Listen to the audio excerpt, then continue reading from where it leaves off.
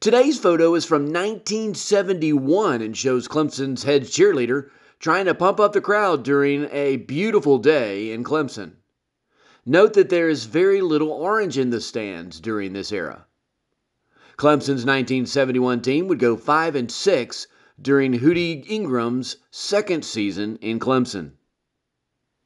Our trivia question of the day Who were the captains of the 1971 team? The answer Larry Hefner and John McMakin were the team captains, but the team's statistical leader was quarterback Tommy Kendrick with 1,040 passing yards.